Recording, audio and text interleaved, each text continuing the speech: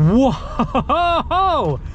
Okay. Hey everyone, it's Ben Hardy here, and in today's video we're reviewing the all-new Ford F-150 Lightning. This particular one is a Lariat with the extended range package, so this is the crazy bad boy version of the Lightning. First and foremost, so a huge shout out and thank you to the Larry Miller Ford Lincoln here in Provo, Utah for giving me some time with the Lightning. This is actually their demonstrator vehicle, so if you want to come and drive the new Lightning and then put in your order afterwards, definitely come and give them a visit. I'll put a link to their inventory in the description down below.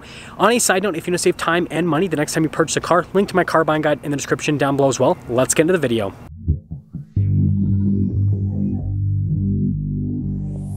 Okay, so let's pop the hood to see what engine's under this bad boy. All jokes aside, obviously it's electric and this is the frunk. Also, I think it's funny that it is a little car for the frunk release and it's not a truck. Like it shows truck for the bed but then it's a car for that. Anyways you guys can see we have a frunk here with the lightning and this frunk is massive. This is like the same size as what a lot of cars have for like their rear trunk space and so it's just extremely practical. And notice we have our release latch here. We have a bunch of outlets here up front and some USBs you even have the newer smaller USB port as well that comes with it. And so yeah in terms of like practical stuff for a pickup truck this definitely is just so cool and takes the cake. And then you've got this button right here you can press and that'll lower it right back down. Um, and in terms of truck truck frunks this is the best now before we go over the front end, I do want to get into some performance specs with the new F-150 Lightning. So we have 580 horsepower, 775 pound-feet of torque. It's a dual motor setup, and we have 320 miles of full electric driving range. Now, if we actually go over the front end, you guys can see this is a little bit different than a regular F-150 hood.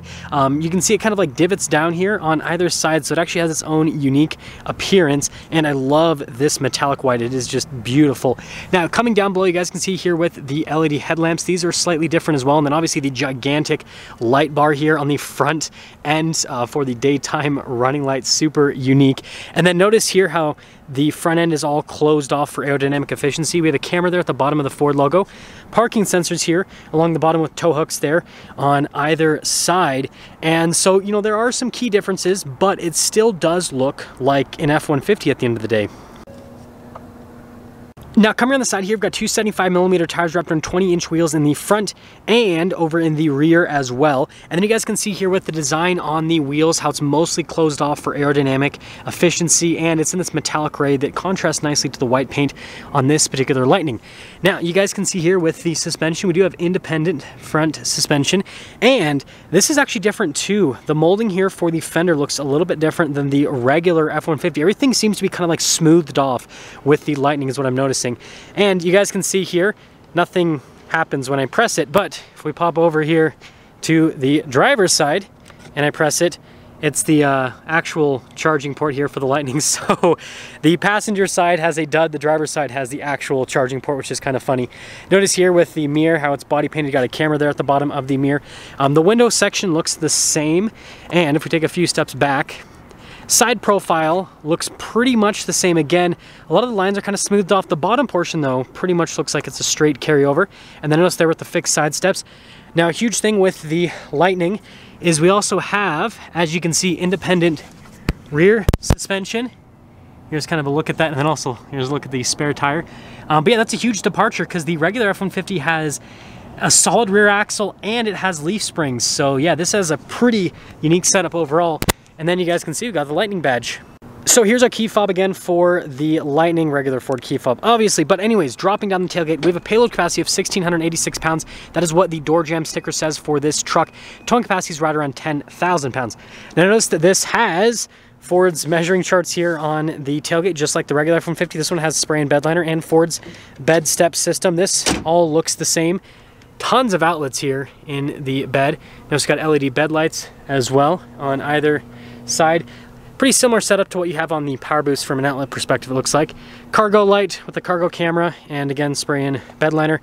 And of course, it has the fancy auto raise with the tailgate as well. Now, finishing things up with the rear, You guys can see here, we've got the giant light bar here on the back. Again, another distinction with the Lightning with the camera there down below. Got a Ford logo, F-150 stamped in the bed.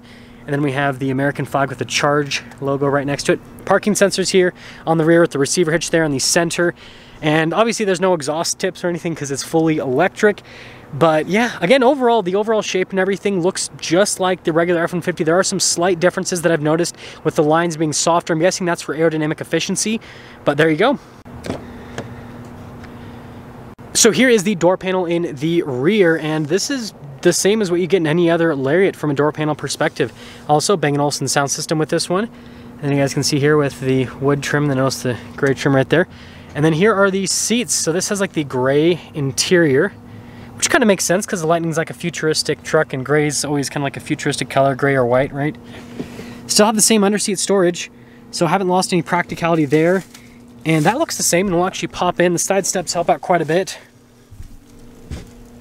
Yeah, I mean, this feels just like a regular F-150.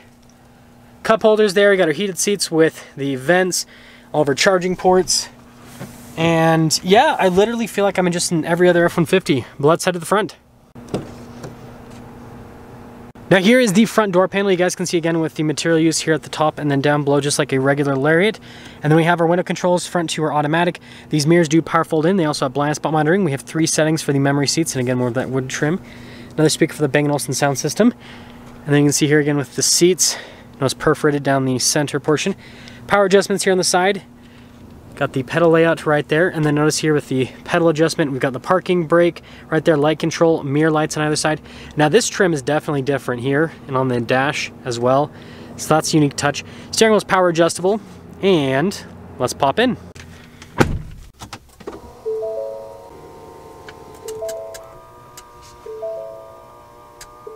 So here is the steering wheel for the Lightning. You've got really nice leather trim all around, just like a Lariat. You guys can see the contrasted stitching.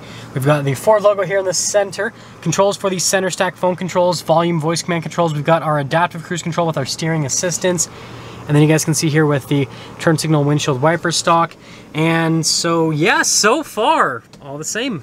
Now we have a full digital gauge cluster, but obviously it looks a little bit different than what you have in a gas-powered F-150. So you guys can see the different viewpoints that we can go through here. So for example, I can go into the trip computer and see exactly what's happening. Now instead of, you know, showing gas consumption, it shows you, you know, how much battery consumption you are uh, using on the trips and everything, which is definitely unique. And then notice here how you can kind of customize the whole screen and see uh, what you can see. I'm interested to see tire pressures. Okay, I just I know it's a random thing, but it's always interesting to see. And notice here we also have the towing screen with all the stuff. So like basically, again, slightly different, but a lot of the same stuff that you see in a regular F-150 you can see with this. Now I think this is pretty cool here on the side. So it shows you, right, how many miles of range you have. And then up here it shows you the temperature of everything as well, which is really important for towing, right? So you don't overheat the battery uh, pack and the motors and all that. So I think that's pretty cool that they show that. Um, now, uh, other than that, that is pretty much everything for the gauge cluster. Now here is the infotainment system for the Lightning. Now, first off, if we pop it into reverse, you guys can see here, we have the backup camera with trajectory lines that turn with the steering wheel. Notice we got the zoom function as well. We got this bird's eye view, which you can zoom on uh, different angles here with the truck. And yeah, so super solid camera system. You know, the fact this has a 360 camera system is awesome. Notice all the different viewpoints that we can go. Even a view of the bed as well. So just like the regular F-150, you're covered from a camera perspective. Now, we're actually gonna pop on the lower portion of the infotainment system, then go up. So we've got a bunch of controls here for like the heated seats, cooled seats, all that. So you just like press this and then basically can go into that function. So if you guys have been in the new Mustang Mach-E, this is going to be very familiar uh, for you. And then you got like the climate controls here, dual zone climate. And then you have like your radio stuff basically here, phone stuff, all that in this portion.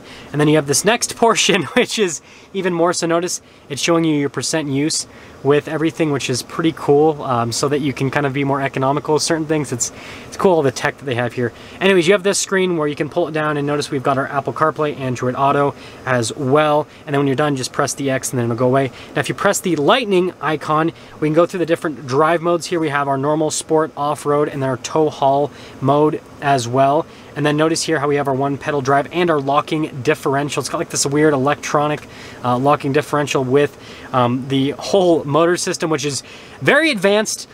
I'm not smart enough to explain it, but basically Ford has managed to do something that shouldn't really be possible, but it's possible with electric vehicles nowadays. Um, anyways, notice here with the one pedal drive, if I press that and then if I go into the tow haul mode, one pedal drive paused. Um, so that is something to know um, with the tow haul mode is that uh, it's going to pause it. I'll talk about this more in the driving portion. Um, but anyways, uh, we're going to just move that out of the way. You guys can see all the different menus that we can scroll into. So like I can go into the camera menu right there, for example, and then all of the other menus here on the side. So there's quite a bit here um, with it. And then notice here with the backup power as well for like your house. I mean, there's so much cool stuff with the Lightning, a lot in the infotainment system. But basically all you need to know is this can charge your house, it can charge your work site, and there's there's a lot to be said here. So we have our Pro Trailer Assist, we've got our trailer brake controls, and then you guys can see here with the wood trim that covers the wireless phone charging area and then the USBs. Got some cup holders right here with the fold down shifter, and we have the workbench center console. And notice this is just a regular F-150 center console, and same thing with the glove box, unchanged. Uh, again, the material use on the dash is a little bit different. And then popping up top, this one has a panoramic sunroof with a power sliding window as well. Universal garage door openers, and there you go. Here's our window sticker for this F-150 Lightning. You guys can see all the standard equipment. Uh, and then this one is a 511A group package. You guys can see the rest of the optional equipment. So notice the base price here, 67,474. And then after all options, $81,544 is the total price. And then here is the whole range uh, info and all of that. Anyways, do do do. Let's see how the new Lightning drives and I'll give you guys my thoughts on it.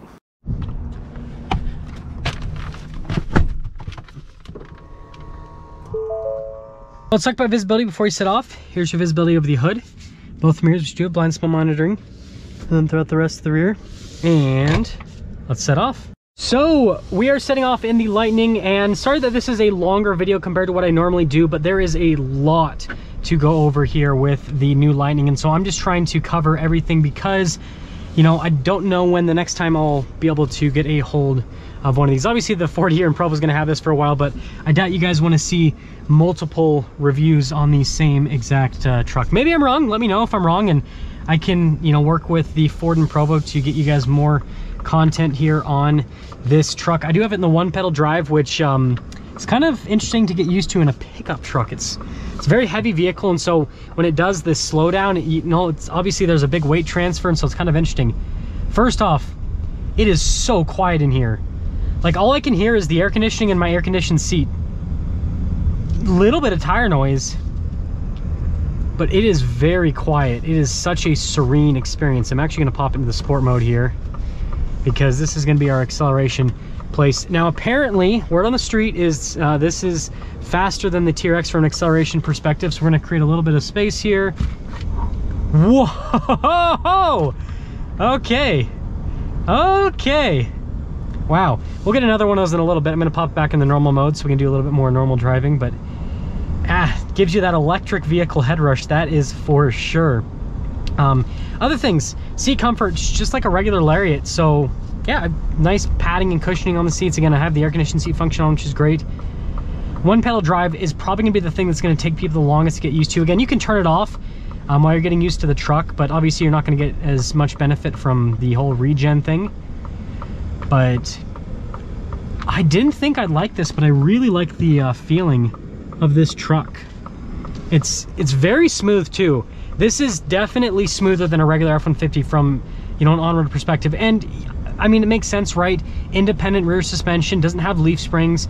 And so like going over bumps, the truck stays nice and planted and it's really smooth. Like this feels like a full-blown luxury car to drive on road. It's a much bigger difference than I expected. I thought this would still kind of drive like an F-150. It has the size, but it doesn't have the yeah, it doesn't have the same ride quality. This is a lot smoother. Man, this is crazy. This is a very, very interesting experience. Um, other stuff here with the Lightning. Uh, visibility is great. Like, you don't, again, you don't really give up anything by going to the electric version of the F-150, so that is a benefit. That girl just gave me the weirdest look ever. She's like, why does this person have a camera on their head? Um, so funny sometimes. Uh, other stuff, I'm trying to think uh, what else you guys would want to uh, know here on the truck. That one pedal drive is so interesting. Um, I guess we'll talk about a few of the elephants in the room. Um, so first elephant is the infotainment system. I, you know, it's really responsive. I like it overall, but I don't like it as much as the regular F-150 horizontal display. I don't know why Ford went with the vertical display. I get that this is what they have in the Mustang Mach-E, but my personal opinion is that they should have kept the same F-150 infotainment system. Now, again, it's everything's pretty much integrated into it, other than at the bottom, there's like the stability control and the parking assistance and the hazard lights and all that. But yeah, I just, vertical I think is, or no, sorry, horizontal is the way to go. I don't think vertical is the way to go with an infotainment system. Um, aside from that, obviously, the other thing is towing. Yes, this does have a strong towing capacity, and um, shout out to TFL. Go watch their towing video with the Ike Gauntlet. Um, basically, they showed that this thing is just a monster with towing, but in that video, they lost a ton of range while towing, and so although I think this is going to be, you know, a monster in terms of like its capability with towing and hauling, it's obviously going to be limited by range and then it takes a lot longer to charge up an electric vehicle than it takes to fill up a truck with gas. So that is a downside. And so I think that that kind of puts the new F-150 Lightning kind of in a weird place because again, this is an amazing truck. It's extremely comfortable. It's quiet. It's fast. Um, like it, it, feels like you're getting everything and towing is super solid. Again, like I said, go watch TFL's video. Go watch their video. Um, they proved that this thing is a towing monstrosity. Like it does an amazing job from a towing perspective. And so it seems like there's no downside, but again, the only downside is gonna be the electric range while towing and give myself another head rush here. Cut the tires loose a little bit there. Oh my goodness. Oh my goodness. This thing is just crazy. Um, and something to mention is there's no like driveline select. So that's another thing that's weird with this compared to a regular F-150 is in a regular F-150 you can go from two-wheel drive to four-wheel auto if it's a Lariat, four-wheel high, four-wheel low. Whereas this, it's just gonna do it all for you. Again, you do have, you know, the locking differential function you can do, but yeah, it's very similar. Like I still feel like I'm in an F-150. And so I'm, I'm trying to figure out the best way to summarize this. So basically, they've electrified the F-150. I think they've done a better job than any other manufacturer with making an electric truck at an affordable price range. Like fin finish on this is amazing. And I would buy this over any other EV truck on the market. Rivian, Tesla doesn't have the Cybertruck out yet, but I'd buy this over the Tesla. I'd buy this over uh, the new Hummer EV, frankly, because this is more affordable. And, um, you know, obviously Hummer EV, you're gonna be fine with servicing, but like Rivian and, and Tesla, Tesla's a little bit better than Rivian, but Rivian, good luck with servicing that truck. That's all I gotta say. Whereas this, if you know anything goes wrong, it's first year vehicle, then there's tons of Ford dealerships, so you're gonna be handled. Um, and they have technicians that have worked on electric vehicles because they have the Mach-E out, right? So I really like this truck. Um, it doesn't necessarily do all the practical stuff that a truck needs to do because it doesn't have the towing range and the hauling range. But other than that, it's great. So I guess if you're gonna be driving the truck around 99% of the time and maybe you're gonna just, you know, tow stuff a short distance, then this will be great. Or you're just gonna haul stuff a short distance, this will be great. But if you're doing, you know, interstate towing, cross-country towing, all that kind of stuff, uh, Power Boost is probably still the route to go. But yeah, for short distances and just as a daily driver truck, this thing is amazing. Like, it's so fast. So yeah, let me know what you guys think about the new Lightning. I, I think it's I think it's pretty great. There's some upsides and some downsides, but overall, I think it's great. That's gonna sum things up for our video on the new F-150 Lightning. Again, a huge shout out and thank you to the Larry Miller Ford Lincoln here in Provo for giving me some time with this Lightning. Check the inventory in the description down below. I will see all of you in that next video.